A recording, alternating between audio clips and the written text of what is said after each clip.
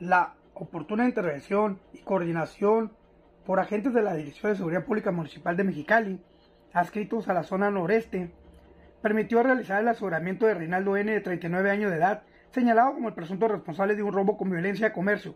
Derivado de la intervención se logró recuperar el monto robado. El incidente se reportó a través de C4, por lo que los policías municipales adscritos a esta zona de forma inmediata acudieron al comercio ubicado en la colonia Roma, donde la víctima manifestó que cuando ella se encontraba en el área de caja, entró a la fuerza una persona del sexo masculino apuntándole con un arma de fuego tipo pistola, por la que le exigió el dinero de la caja. Luego de tomar el efectivo, el sujeto salió del establecimiento, por lo que se le llamó al número de emergencia 911. Fue inmediatamente después, con las características y físicas del vestimenta que proporcionaban los testigos del hecho, por lo que las policías municipales desplegaron un exitoso operativo de búsqueda de la zona, logrando detectar al sujeto en los alrededores del comercio.